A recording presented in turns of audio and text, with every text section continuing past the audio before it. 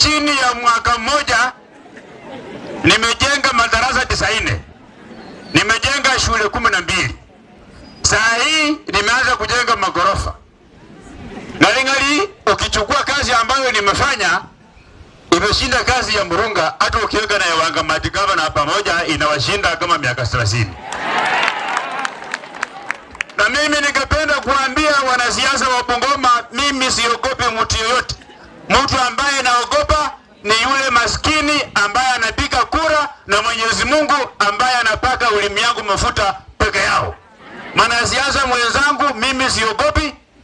Mkitaka muunganishe hii constituency hata na Tongaren na Webuye West na Webuye East, mimi niko tayari kutafuta kura. Na mimi bwana Nangalama, uambie gavana wetu bwana Wangamati, kusikia watu wakisema wanataka mimi nikuwe gavana yao na kuweka vijana wakinitukana, Mungu atafuta barabara yake na 2022 ataanguka kuwa atakwenda nyumbani. Hii dunia lazima tuheshimiane. Mimi kwa ofisi yangu siwezi nikawacha vijana yangu watukane viongozi mwingine unless kama mimi nimewatuma. Kwa hivyo lazima tuheshimiane kwa hali hiyo na tufanye kazi ambayo wananchi walituchagua mtu mkono huwa haijalishi size ya huyo mtu size gani.